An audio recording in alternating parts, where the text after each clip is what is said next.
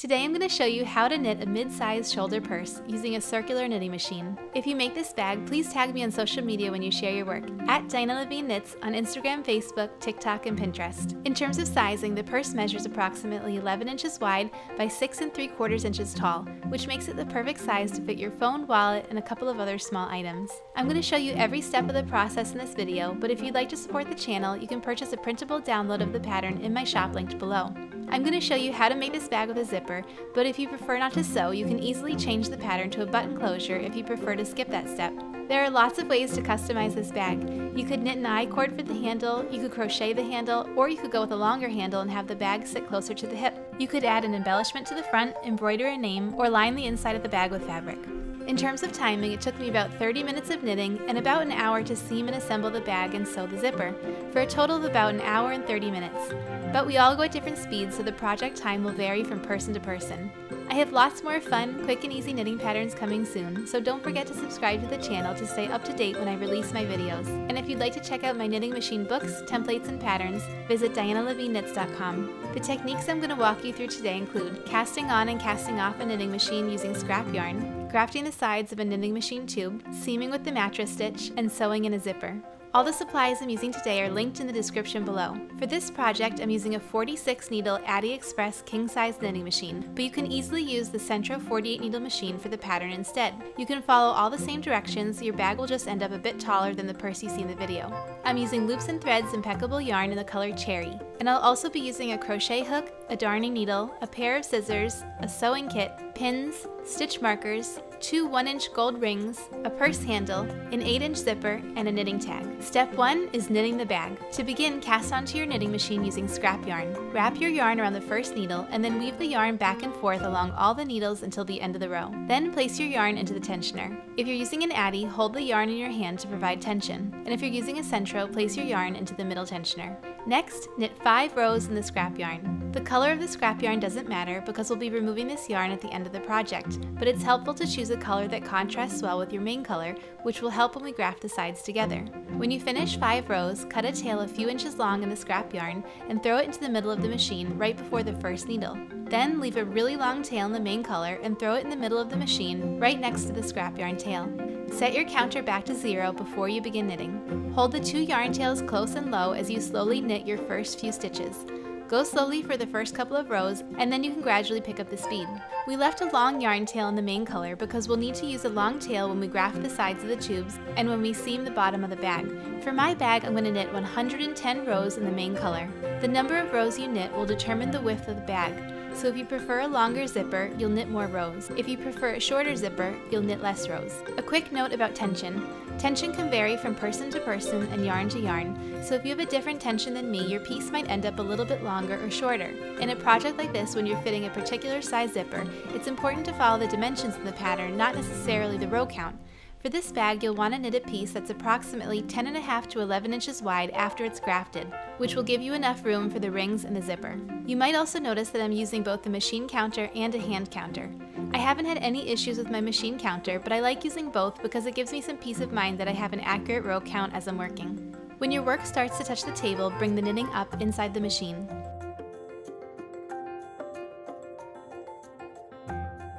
Okay, I just finished knitting 110 rows in my main color. Next, I'll cut another really long yarn tail and throw it in the middle of the machine before the first needle. Then I'll switch back to the scrap yarn and hold the yarn tails together close and low as I slowly start knitting the scrap yarn. Knit 5 rows in the scrap yarn. When you finish, cut a short tail and continue knitting until the work falls off the needles. Pull the work out of the machine and gently stretch out the stitches. Here I have my final piece which measures approximately 22 inches long, although it's hard to get a perfectly accurate measurement when the scrap yarn is still attached. Next we'll move on to step 2, grafting the open sides of the tubes together. Bring the open ends of the tube together and line up the top rows of main color stitches. Thread the bottom yarn tail onto a darning needle. Begin with a stitch directly above the yarn tail. Thread your needle down through the first stitch and then up through the stitch to the left. I'll show you a close-up of how I'm working through the stitch here. Pull the yarn through. Then go back down to the stitch below and go down through the first stitch and then up through the stitch to the left. I'll show you a close-up of how I'm working through the bottom stitch here and pull your yarn through. When you go to the top, you'll be working through the stitch that you came up through previously.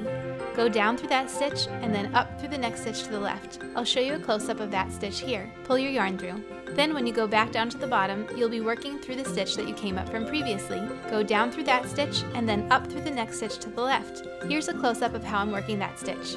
Continue in this pattern, alternating between top and bottom stitches. Here you'll see the stitches starting to form. As you work, make sure to pull the yarn firmly, but not too tightly, otherwise your stitches will look too small. When you get to the edge, simply turn the work inside out and continue in the same pattern until the end of the row. Here you'll see what it looks like when you're about halfway through grafting the tube. When you get to the last couple of stitches, make sure you're picking up every last stitch and then tie a quick knot between the two yarn tails to secure the end. Step 3 is removing the scrap yarn. When you graft stitches together, you'll remove the scrap yarn by unwinding it around and around the tube. One side should pull off pretty easily. For the side that's more of a challenge, identify the top length of yarn and pull that one length out every few stitches until the end of the row. After that length is removed, the rest of the scrap yarn should pull off much more easily. Here you can see the final seam. I actually grafted my stitches a bit too tightly in this project, so my seam is slightly visible. But once I move the seam to the side of the work, you really won't notice it at all. Now we'll move on to step 4, seaming the bottom of the bag. We'll be using the mattress stitch to seam the bottom of the bag. If your yarn tails aren't on the edge, thread whatever tail is longer onto a darning needle and weave it to the bottom right corner of the bag and secure it with a quick knot. When I use the mattress stitch, my first step is to identify the two lines of V-shaped stitches running in the same direction that I want to bring together.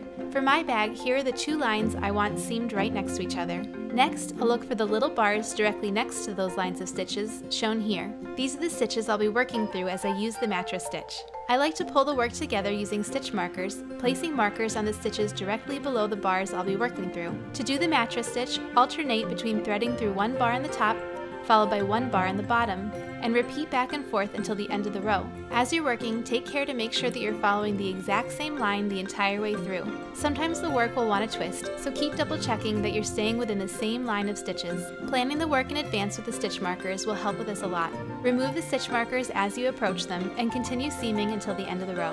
When you get to the end of the row, make sure to capture all the last few stitches so you don't end up with a hole in the corners of your work, and then thread the yarn through to the inside corner. Secure the yarn with a few good knots and then weave in the ends to the center area of the work and trim the ends. We're done using the yarn tails to seam, so you can repeat the same process with the other tail, securing with a knot and weaving in the ends. You'll see that the mattress stitch has created a fairly seamless looking join. Our bag is starting to come together. Next step is step 5, adding the rings. I'm using circular rings, but you can also use D-shaped rings for this part of the project. Cut a length of yarn in the main color and place your ring to the side inside the bag. Thread your yarn starting on the inside of the bag and then go back and forth one or two stitches down from the top to secure the ring in place. As you sew, make sure that the stitches you're going through on the outside of the work are the interior bars of the stitches not going over the outside stitches. This will create a more seamless look. When your ring is secure, thread the needle back to the inside of the bag, secure the two yarn tails with a knot, and then weave in and trim the ends. Repeat the process on the other side of the bag with the second ring. Step 6 is adding a knitting tag. This step is optional, but I like to add a tag to all my work. Normally I add it at the very end, but since I'll be sewing in a zipper, I'm going to add my tag before I begin sewing. Step 7 is sewing in the zipper. Locate where you'd like to sew in your zipper and use pins to keep it in place. Find a thread in roughly the same color as your main color yarn and thread it onto a sewing needle with two threads and tie a few knots at the bottom of the thread. Begin under the inside of the zipper so that your knot will be hidden and start to sew the zipper right to the top of the work.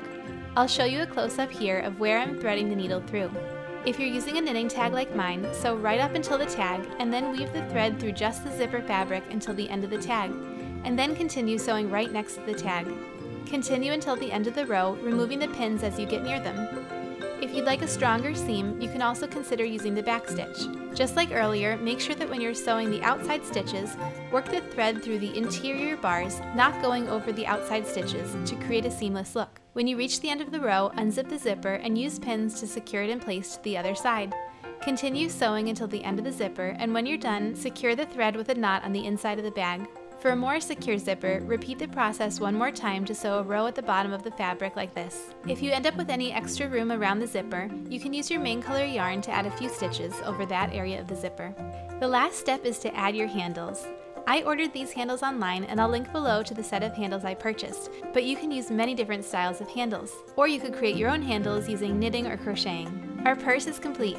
If you make this bag, please tag me when you share your work on social media at Diana Levine Knits on Instagram, Facebook, TikTok, and Pinterest. And if you'd like to support the channel, you can purchase a printable PDF of this pattern in my shop linked below. If you'd like to check out any of my knitting machine books, templates, and patterns, visit dianalevineknits.com. And if you found this video helpful, please give it a like, comment below, and subscribe to the channel to stay up to date on all my latest patterns and tutorials.